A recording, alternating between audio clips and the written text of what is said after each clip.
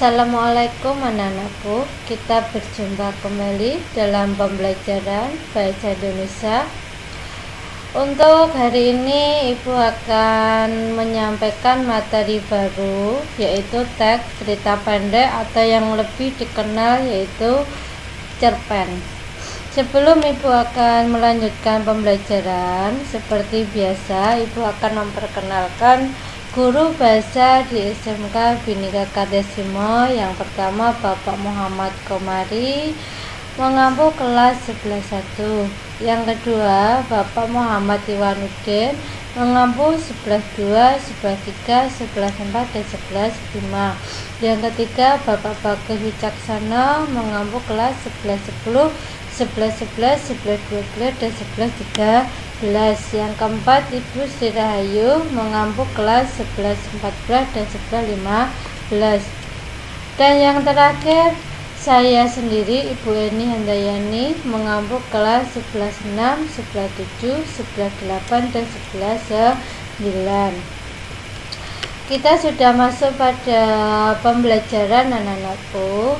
Uh, pengertian dari cerpen cerpen adalah suatu bentuk dan hasil pekerjaan seni kreatif yang objek permasalahannya adalah manusia dan kehidupannya dengan menggunakan bahasa sebagai medianya serta mengandung amanat atau nilai moral kepada pembaca.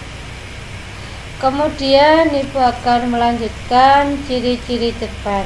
Yang pertama, bentuk tulisan singkat, padat, dan lebih pendek daripada novel.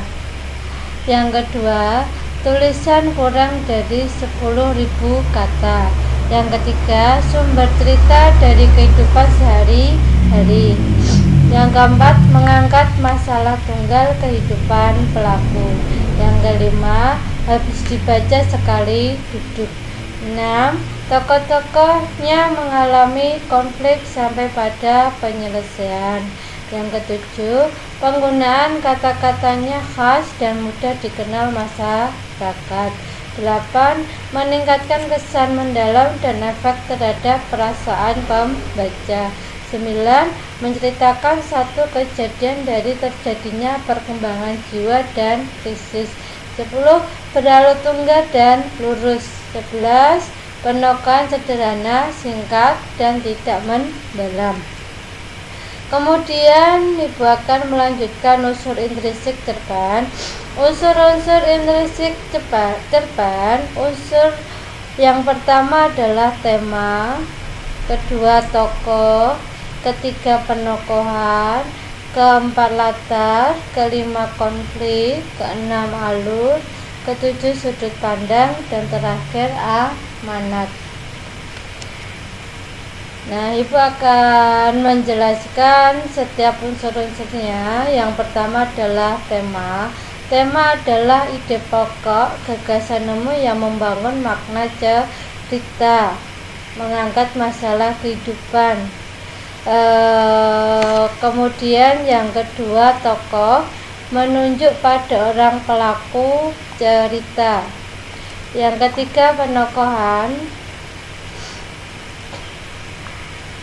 Bisa kalian baca di sini pengertiannya anak-anakku kalian kalau sudah paham berkaitan dengan penokan ibu akan melanjutkan latar atau setting yang menunjukkan tempat, waktu atau suasana atau bisa dikatakan tempat terjadinya suatu peristiwa. Bisa kalian pahami? Kalau sudah, Ibu akan melanjutkan konflik. Konflik terjadi karena perbedaan kepentingan, perbedaan sesuatu. Mengacu pada pertarungan antara dua kekuatan, misal kesetiaan dengan pengkhianat cinta, kekasih dengan cinta tanah air. Dibedakan atas konflik eksternal dan konflik internal. Kemudian Ibu akan melanjutkan unsur intrinsik depannya. Di sini masih uh, pada alur atau rentetan alur atau struktur umum cerita pendek, pengenalan cerita, penanjakan menuju konflik, konflik, penurunan konflik, dan penyelesaian. Kalau dilihat dari gambarnya atau grafiknya, anakku, itu bisa kalian uh, kembangkan bahwa dalam satu isi cerpen itu mencakup kelima unsur intrinsik atau struktur umum cerita pendek seperti ini. Kemudian yang berikutnya alur. Rangkaian cerita yang mengandung unsur sebab akibat atau bisa dikatakan kausalitas. Kemudian kalian bisa pelajari uh, alurnya. Setelah kalian mempelajari bahkan melanjutkan sudut pandang cara atau pandangan yang digunakan pengarang sebagai sarana untuk menyajikan cerita atau maksud.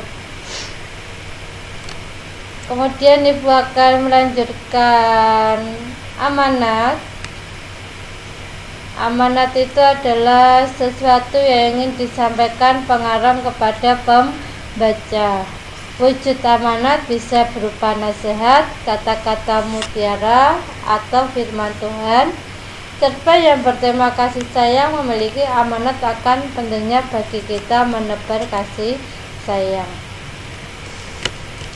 Nah itu dulu anak-anakku uh, untuk pembelajaran materi teks cerpen bisa kalian pelajari unsur-unsur intrinsiknya atau unsur-unsur di dalam di dalamnya. Kemudian yang terakhir ibu akan memberikan tugas. Yang pertama kalian tulis materi tersebut di buku tulis. Yang kedua carilah contoh cerpen yang berjudul robohnya surau kami di internet kemudian kalian baca dan dipahami setelah kalian membaca, kemudian temukan unsur-unsur intrinsnya dalam cerpen tersebut. Nah, yang telah kalian pelajari tadi. Tugas yang ibu berikan ini semua kalian tulis di buku tulis. Semoga e, bermanfaat untuk materi hari ini. Ibu akan akhiri. Wassalamualaikum warahmatullahi wabarakatuh.